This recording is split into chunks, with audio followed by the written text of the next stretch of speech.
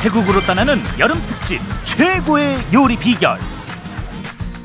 먹고 즐기며 사랑하라. 모두가 행복해지는 여행자들의 파라다이스. 태국으로 떠나본다.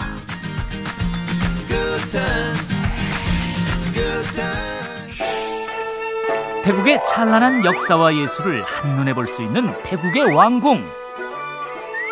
이곳에 오면 태국인들의 신성한 전통을 고스란히 느낄 수 있다는데 태국의 정수를 느끼는 또 다른 방법. 독특한 풍미와 깊은 국물 맛에 먹을수록 빠져드는 태국 전통 요리 똠양꿍. 태국의 톱 셰프 까몬이 선보이는 태국 전통의 맛. 한 번 먹으면 묘하게 끌리는 똠양꿍 레시피를 지금 공개한다 안녕하세요. 여러분의 이특과 태국을 대표하는 유명 셰프님이시죠? 까몬 셰프님과 함께하고 있습니다. สวัสดีครับ. สวัสดีครับ. สวัสดีครับ. วันนี้กินข้าวมายังครับ. 지금 밥을 안 먹고 와서 배고픕니다.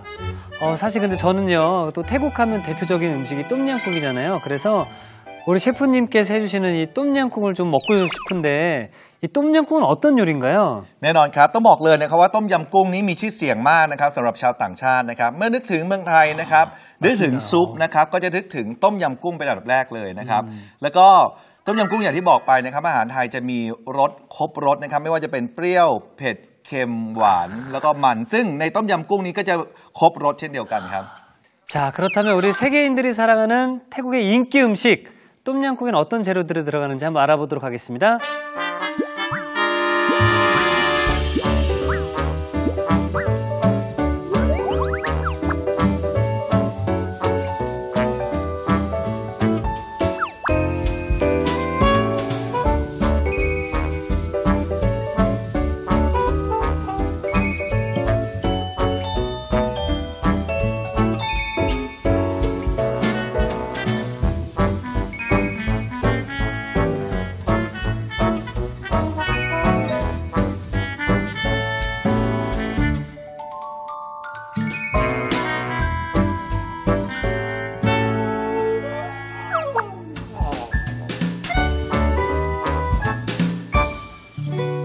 자, 똠양꿍을